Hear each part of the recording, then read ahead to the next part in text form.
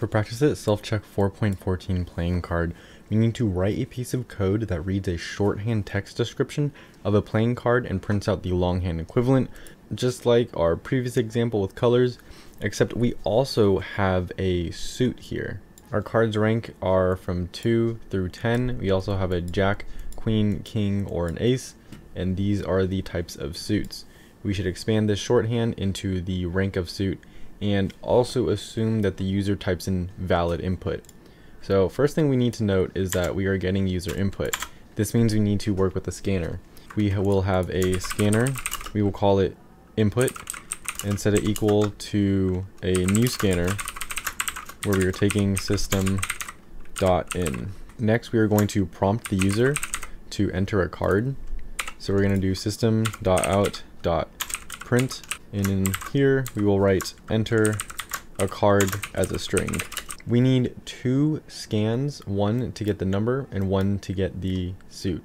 So we will have a string and we will call it rank and we'll set this equal to scan dot next. That way we get the next value and then we will do string and we will call this suit and this will be equal to the scan dot next. That way, for the first time, we will get whatever one of these it is and store it in rank, and then we will get the next thing and we'll store it inside of our suit. Now we will need a bunch of else if statements. In here it says because there are so many rank suit combinations, we will need several if else branches. However, we shouldn't have too many branches for each unique card because that's too many. We're not going to do that. We're just going to have a couple different else if branches. So the first thing that we're going to do here is make an if statement and we are going to say if our rank and we'll do dot equals. This is a string method where inside of here we have quotes and we are comparing it to something. So if rank dot equals and first thing we'll have is 2 then we are going to assign rank to be 2 we're going to overwrite rank. So in here we're going to say rank is going to be equal to 2 this should be in quotes since it is a string after this, we are just going to have multiple else if statements for the rest of these. So we'll have else if rank dot equals 3. We will have a 3 here, and we're going to do this for the rest of the numbers. After we have this for the rest of the numbers, changing all of these in here and also changing what it's dot equaling to, we are going to have to look at the jack, queen, king, or ace. This is basically the same thing where we'll have four more in here and we're going to do just if it equals to a J, a Q, so we'll have Jack, Queen, King, and Ace. And then we're just going to print these out as well. So we'll have Ace, a King, Queen, and lastly Jack right here. So rank is now going to store whatever this is. Now we need to look at the suit.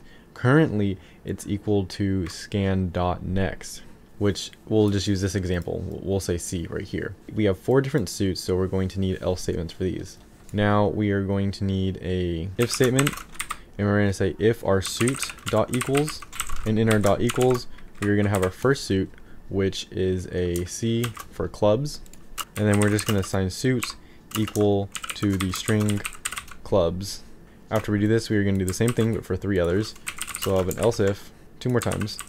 So if suit dot equals, we have a D for diamonds, H for hearts, and then a S for spades. We will type these strings in, and now our suit is equal to whichever one of these it is. After we do this, we just want to print out what it is. So we are going to have a print statement down here where we do a system dot out dot print we can make this a print line if we wanted to. And inside of here, we first want to print out the rank. So we're going to do rank. And then inside of here, we need to have a space of space and then the suit. So we are just going to append to here the suit. We have an error because I put scan dot next it when we named our scanner input. So we need to change these to input so it matches our scanner. After we do this, we have passed all eight tests. So this is super, super long code. We were basically hard coding this for every single case. We need to make an else if statement for each of these different ranks. And then we are assigning whatever this is, the shorthand answer, into the rank which would be the longhand answer. Same thing for the suits, and then we are just printing this out. So this is the code that will give us the proper answer to practice it self-check 4.14.